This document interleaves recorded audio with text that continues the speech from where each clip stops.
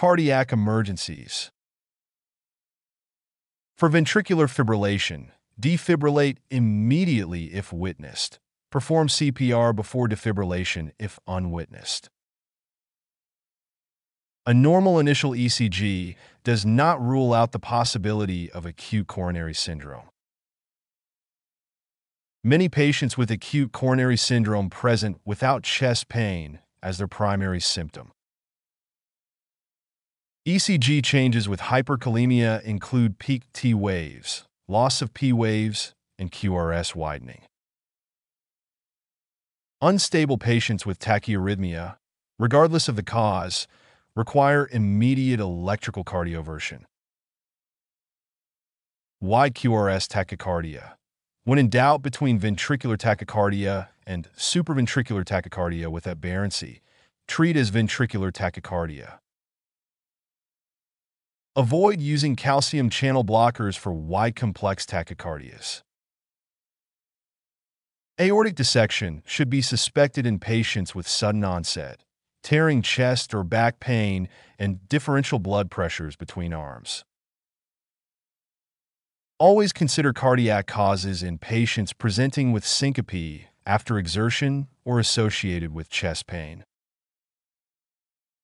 Myocarditis should be considered in patients with unexplained rapid heart rate, especially with viral symptoms. Respiratory emergencies. Preoxygenation with 100% oxygen is crucial during rapid sequence intubation to prevent desaturation.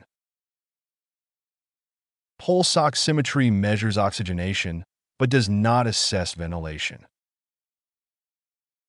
Manage ventilator problems by troubleshooting displacement, obstruction, pneumothorax, and equipment failure. This is known as the DOPE, dope mnemonic. CPAP or BiPAP can often prevent the need for intubation in emergency and hospital settings. Sudden onset shortness of breath and chest pain may indicate pulmonary embolism or pneumothorax, requiring immediate evaluation. Always monitor for pulmonary edema after smoke inhalation, even if the patient initially appears stable. Carbon monoxide poisoning should be suspected in smoke inhalation victims, requiring high-flow oxygen treatment. Ketamine is an ideal sedative for pediatric patients as it provides pain relief, amnesia, and airway protection. Gastrointestinal emergencies. Mesenteric ischemia should be suspected if abdominal pain is disproportionately severe compared to physical findings. In patients with atrial fibrillation who develop abdominal pain, suspect mesenteric ischemia.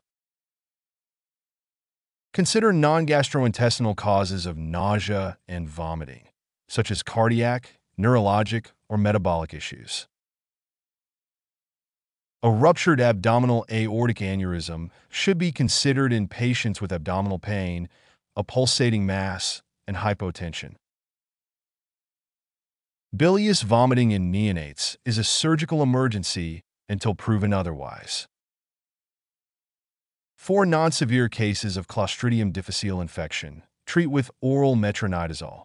For severe cases, use oral vancomycin, with options like intravenous metronidazole vancomycin enema, or fecal transplant as alternatives.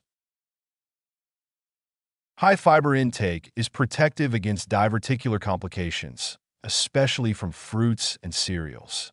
Conversely, red meat and Western diets increase the risk of diverticulitis.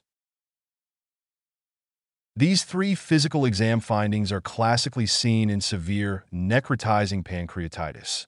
Cullen's sign, Grey-Turner sign, and erythematous skin nodules due to fat necrosis.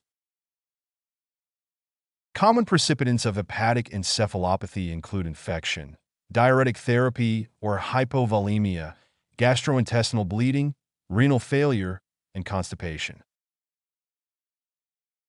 Trauma and burns.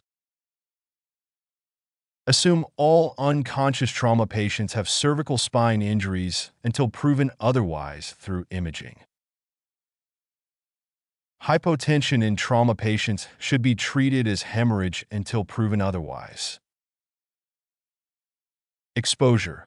Every trauma patient should be undressed and thoroughly examined, front and back, to avoid missing injuries. Blunt trauma to the abdomen can result in significant internal bleeding, even with minimal external signs of injury. Delayed symptoms in blunt abdominal trauma may indicate a hollow viscus injury, requiring further evaluation. Splenectomy patients are at lifelong risk for overwhelming post-splenectomy infection, OPSI, and require immediate attention if febrile. Lightning strikes often cause cardiac arrest without external injury signs, requiring immediate resuscitation. Patients with extensive burns need early aggressive fluid resuscitation to prevent shock.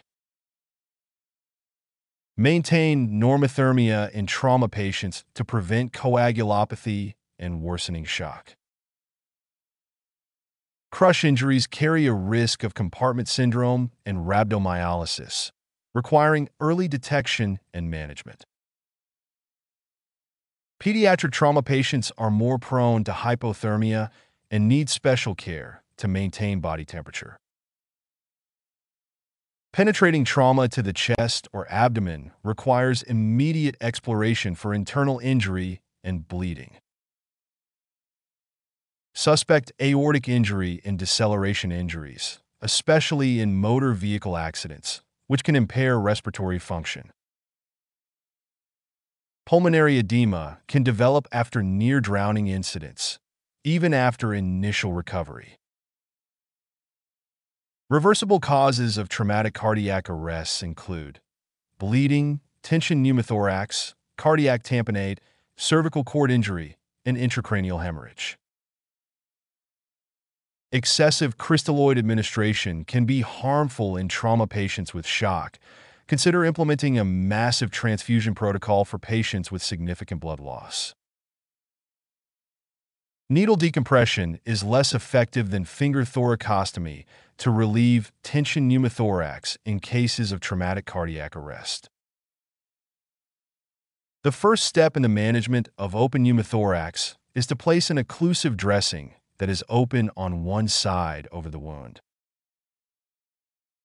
The best guide for adequate fluid resuscitation in burn management is adequate urinary output.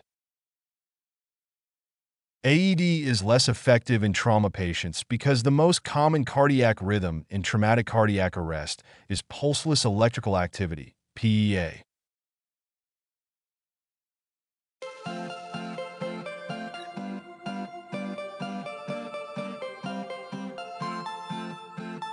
Thank you for watching. Please subscribe to our channel by clicking the subscription button. If you have any questions, feel free to leave a comment below in the comments section.